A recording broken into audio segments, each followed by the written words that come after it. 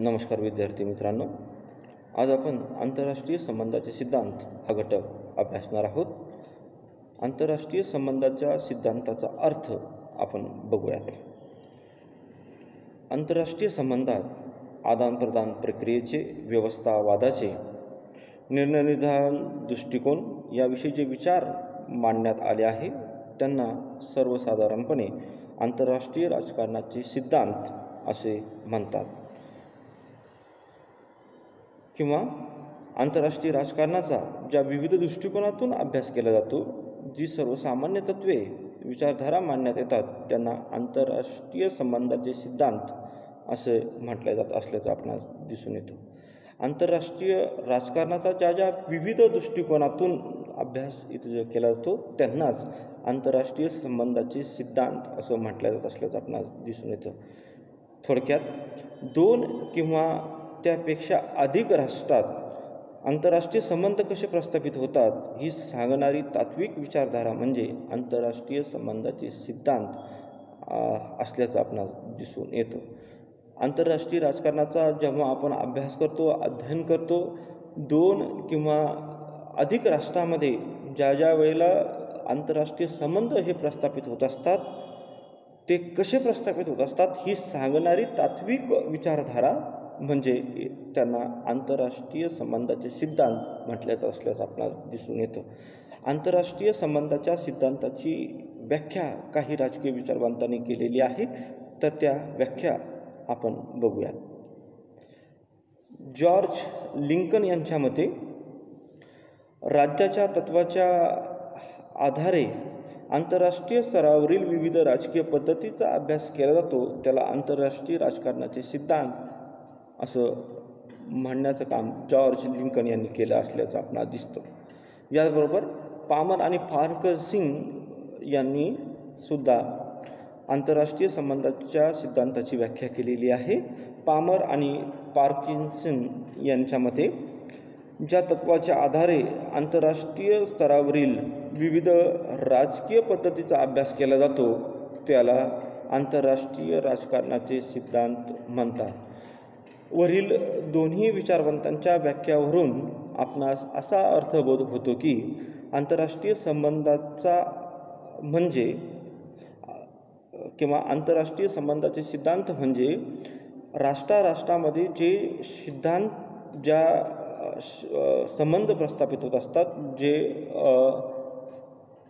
आदान प्रदान घडून येत असतं तर त्या आदान प्रदान घडून आणण्याची प्रक्रिया किंवा जे आंतरराष्ट्रीय संबंध प्रस्थापित करण्याची प्रक्रिया ज्या माध्यमातून घडत अस होत असते तर त्या माध्यमाला आंतरराष्ट्रीय संबंधाचे सिद्धांत म्हणण्याचं काम इथं केलं जात असल्याचं आपणाला दिसून येतं. आंतरराष्ट्रीय संबंधाचे स्वरूप आपण आता बघूयात.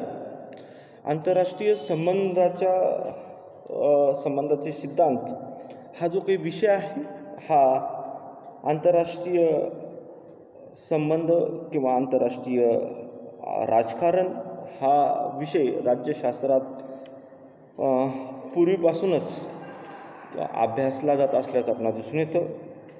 प्रामुख्याने द्वितीय महायुद्धाच्या नंतर जागतिक राजकारणाची जी काही समीकरणं बदलली आणि जी काही आंतरराष्ट्रीय परि आंतरराष्ट्रीय राजकारणामध्ये जी काही परिवर्तनं मोठ्या प्रमाणात घडून आली त्यानंतर या विषयाला अनन्यसाधारण महत्त्व असं हे प्राप्त झालं असल्याचं आपणास दिसून येतं. अनेक राजकीय विश्लेषकांनी व विचारवंतांनी आंतरराष्ट्रीय राजकीय संबंध या विषयाला अनुसरून इथे सैद्धांतिक रचना या केल्या असल्याचं आपण दिसून येतं आणि या रचनाच्या आधारे त्यांनी आंतरराष्ट्रीय संबंधाचे काही सिद्धांत इथे प्रस्थापित केले असल्याचं आपण दिसून येतं. आंतरराष्ट्रीय राजकारण हा स्वतंत्र अभ्यास विषय आहे असं किन्सी राईट या राजकीय विचारवंतांनी इथे आपलं प्रतिपादन केलं असल्याचं आपल्याला दिसून येतं. आधुनिक काळात आंतरराष्ट्रीय संबंध हा एक स्वतंत्र अभ्यास विषय आहे. या मताला डेव्हिड इस्टन आल्मन आणि पावेल यांनी इथं मान्यता दिली असल्याचं आपल्याला दिसून येतं. आणि म्हणून अशा या विषयाचं खालील मुद्द्यांच्या आधारे याचं स्वरूप आपण इथे अभ्यासू अभ्यासूया. आंतरराष्ट्रीय संबंधाच्या सिद्धांताचं स्वरूप अभ्यासत असताना खालील मुद्द्याच्या आधारे ते खालील घटकांचा खालील मुद्द्यांचा त्याच्यामध्ये समावेश होत असल्याचं आपणास दिसून येतं. आंतरराष्ट्रीय संबंधाच्या सिद्धांतात कोणकोणत्या बाबींचा समावेश होतो?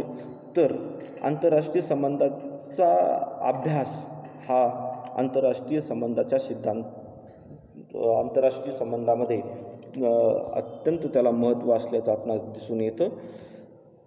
आंतरराष्ट्रीय संबंध कसे एक राष्ट्र दुसऱ्या राष्ट्राशी कसं संबंध प्रस्थापित करतात त्याची प्रक्रिया कशी असते आणि यासाठी राष्ट्राचं परराष्ट्र धोरण कसं ठरते राष्ट्राने तयार केलेल्या परराष्ट्र धोरणाचा दुसऱ्या राष्ट्रावर त्याचा परिणाम कसा होतो आणि परराष्ट्र धोरणामध्ये एखाद्या राष्ट्राने एखादा निर्णय घेतला तर त्याचा जगावर कसा परिणाम होतो याचा अभ्यास हा आंतरराष्ट्रीय संबंधाच्या सिद्धांतामध्ये इथे केला जात असल्याचं आपणास दिसून येतं.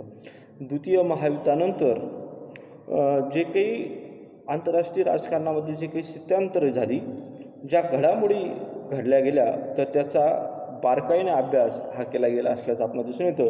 याच काळामध्ये अमेरिका आणि रशिया या ज्या काही महासत्ता म्हणून त्यांचा उदय झाला आणि या महासत्तांच्या राजकारणाचा प्रभाव हा आंतरराष्ट्रीय राजकारणावर मोठ्या प्रमाणात पडू लागला आणि यामुळे या महाशक्तींच्या संबंधाचा अभ्याससुद्धा या महाशक्तींच्या परराष्ट्र धोरणाचा अभ्याससुद्धा या माध्यमातून या विषयाच्या माध्यमातून केला जात असल्याचं आपल्याला दिसून येतो. आणि म्हणून आंतरराष्ट्रीय संबंधाच्या सिद्धांतामध्ये आंतरराष्ट्रीय संबंधांचा अभ्यास याच्यावर मोठ्या प्रमाणात भर हा दिला जात असल्याचं आपल्याला दिसून येतं. याचबरोबर आंतरराष्ट्रीय राजकारणातील समस्यांचा अभ्यास इथे आंतरराष्ट्रीय संबंधामध्ये केला जात असल्याचं आपणास दिसून येतं. आंतरराष्ट्रीय राजकारणामध्ये अमेरिका आणि रशिया प्रामुख्याने द्वितीय महायुद्धानंतर या दोन महाशक्तींचा उदय झाला आणि दोन महाशक्तींच्या उदयानंतर आंतरराष्ट्रीय राजकारणामध्ये सत्ता संघर्ष इथे निर्माण झाला असल्याचं आपला दिसून येतो. आणि या सत्ता संघर्षातून याचे अनेक प परिणाम विपरीत परिणाम इथे किंवा प्रतिकूल आणि विपरीत असे दोन्ही परिणाम आंतरराष्ट्रीय राजकारणावर झाले असल्याचं आपल्याला दिसून येतात. आणि यातून अनेक समस्या अनेक प्रॉब्लेम्स इथे निर्माण झाले असल्याचं आपल्याला दिसून येतात. जसं की वसाहतवादी समस्या साम्राज्यवादी धोरण याचबरोबर पर्यावरण संतुलन आणि जैवविविधता अशा अनेक प्रश्न आंतरराष्ट्रीय राजकारणामध्ये जे निर्माण झालेले आहे. दहशतवाद हा सुद्धा एक आंतरराष्ट्रीय राजकारणामधील ती एक समस्या असल्याचं आपल्याला दिसून येतं. आणि म्हणून या समस्यांचा अभ्याससुद्धा मोठ्या प्रमाणात इथे आंतरराष्ट्रीय संबंधामध्ये तो केला जात असल्याचं आपल्याला दिसून येतो. आणि म्हणून या आंतरराष्ट्रीय राजकारणातील समान समस्यांचा अभ्यास करण्यासाठी इथे आंतरराष्ट्रीय राजकारणात तो केला जात असल्याचं आपल्याला दिसून येतं. त्याचबरोबर आंतरराष्ट्रीय राजकारणामध्ये इतर सामाजिक शास्त्रांची मदत ही घेतल्या जात असल्याचं आपणाला दिसून येतं. आंतरराष्ट्रीय राजकारण किंवा राष्ट्राराष्ट्रामध्ये जे काही संबंध प्रस्थापित होत असतात तर त्यामागे इतिहास अर्थशास्त्र भूगोल आणि राज्यशास्त्र या सामाजिक शास्त्राची मदत इथे घेतल्या जात असल्याचं आपल्याला दिसून येतं. जेव्हा राष्ट्राराष्ट्रामध्ये जे काही संबंध प्रस्थापित होत असतात ते एकाएकी होत नसल्याचं आपणास दिसून येतात. त्याला एकतर इतिहास असतो किंवा त्यामध्ये त्या राष्ट्राच्या आर्थिक हित तरी त्यामध्ये असल्याचं आपल्याला दिसतं. याचबरोबर भूगोलाचा सुद्धा आंतरराष्ट्रीय संबंधामध्ये तितकाच महत्त्वाचा वाटा इथे असल्याचं आपल्याला दिसून येतं. आणि राजकीय आणि सामाजिक घटकांचा सुद्धा इथे अभ्यास ती केला जात असल्याचं आपल्याला दिसून येतं. आणि म्हणून आंतरराष्ट्रीय राजकारणामध्ये या घटकांचा सुद्धा अभ्यास इथे केला जात असल्याचं आपणास दिसून येत असल्याचं आपणाला दिसतं.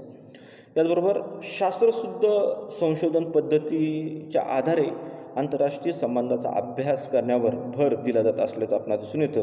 प्रामुख्याने द्वितीय महायुद्धाच्या नंतर आंतरराष्ट्रीय राजकारणाच्या विश्लेषण करण्यासाठी आणि समस्यांची निश्चिती करण्यासाठी समस्यांची कारणे शोधण्यासाठी आणि समस्यांवर उपाय शोधण्यासाठी आंतरराष्ट्रीय राजकारणामध्ये वर त्याच्यावर चिंतन हे केलं गेलं असल्याचं आपण दिसून येतं. आणि यातून शास्त्रशुद्ध संशोधन पद्धती इथे च्या आधारे आंतरराष्ट्रीय संबंधाच्या सिद्ध संबंधांचं अभ्यास इथे केला गेला असल्याचं आपल्याला दिसून येतं. आणि म्हणून आंतरराष्ट्रीय संबंधाच्या सिद्धांतात शास्त्रशुद्ध संशोधन पद्धतीवर चा अभ्यास इथे केला जात असल्याचं आपणास दिसून येतं. सर्वसामान्य सिद्धांताचा स्वीकार सुद्धा आंतरराष्ट्रीय रा संबंधामध्ये केला जात असल्याचं आपणाला दिसून येतं. आंतरराष्ट्रीय राजकारणात सुद्धा पारंपरिक राजकीय विश्लेषकांनी जे काही सिद्धांत जे काही विचार इथे मांडलेले आहेत तर त्याच सिद्धांतांचा स्वीकार हा केला गेला असल्याचं आपल्याला दिसतं. आंतरराष्ट्रीय राजकारणात सत्ता संतुलन प्ररोधन दहशतीचे संतुलन परराष्ट्र धोरण राजकीय व्यवस्था संरचनात्मक कार्यवाद इष्टांचा व्यवस्था विश्लेषणवाद आणि पारंपरिक राज्यशास्त्रातील ऐतिहासिक दृष्टिकोन आदर्शवादी दृष्टिकोन अशा दृष्टिकोनांचा समावेश हा आंतरराष्ट्रीय संबंधाच्या सिद्धांतामध्ये इथे केला जात असल्याचं आपल्याला दिसून येतं. आणि या आधारे आंतरराष्ट्रीय संबंधाच्या अभ्यास इथे केला जात असल्याचं आपणास दिसून येतं. याचबरोबर आंतरराष्ट्रवादाचा अभ्यास इथे केला जात असल्याचं आपणास दिसून येतं. आंतरराष्ट्रीय संबंधामध्ये आंतरराष्ट्रवाद राष्ट्रीय राजकारण आणि आंतरराष्ट्रीय राजकारण या दोन संकल्पना वेगळ्या आहेत असं राजकीय विश्लेषकांनी त्याच्यामध्ये फारकत केली असल्याचं आपल्याला दिसून येतात. या दोन्ही संकल्पना स्वतंत्र आहेत या दोन्ही संकल्पना वेगवेगळ्या आहेत. त्यांचा एक या संकल्पना एकमेकाशी पूरक आहेत असं परंतु त्या दोन्ही संकल्पना वेगवेगळ्या आहेत स्वतंत्र आहेत असं मॉर्टिन कॅपलॉन यांनी ते आपलं मत इथं व्यक्त केलं असल्याचं आपल्याला दिसून येतं. आणि आंतरराष्ट्रीय राजकारणामध्ये आंतरराष्ट्रीयवादाचा अभ्यास आंतरराष्ट्रीय संबंधामध्ये तो केला जात असल्याचं आपणास दिसून येतं. त्याचबरोबर राष्ट्रास पूरक दृष्टिकोन मांडण्याचं काम आंतरराष्ट्रीय संबंधामध्ये केलं जात असल्याचं आपल्याला दिसून येतं. आंतरराष्ट्रीय राजकारणात नेहमीच सत्तेसाठी संघर्ष हा असतो. प्रत्येक राजकीय व्यवस्थेत लोकांचा संघर्ष हा स्वा स्थायी भाव असल्याचं आपल्याला दिसून येतं. ज्याप्रमाणे राष्ट्राच्या राजकारणामध्ये आपण बघतो की सत्ता मिळवणे हा प्रत्येकाचा तिथे उद्देश अंतिम उद्देश असल्याचं आपण दिसतं. तसंच आंतरराष्ट्रीय राजकारणामध्ये सुद्धा आपल्या राष्ट्राची सत्ता मिळवणे आपल्या राष्ट्राचा प्रभाव पाडणे आणि आपली सत्ता टिकून ठेवणे यासाठी सत्ता संघर्ष चालला असतो. आणि म्हणून हा रा हा जो काही दृष्टिकोन आहे तर तो राष्ट्रास पूरक असल्याचं आपल्याला दिसून येतं. आणि राष्ट्र राष्ट्रीय राजकारणास पूरक दृष्टिकोन मांडण्याचं काम आंतरराष्ट्रीय संबंधाच्या सिद्धांतामध्ये ते केलं जात असल्याचं आपल्याला दिसून येतं. अशा प्रकारे आंतरराष्ट्रीय संबंधाच्या सिद्धांताचं स्वरूप आपण खा या मुद्द्याच्या आधारे बघू शकतो.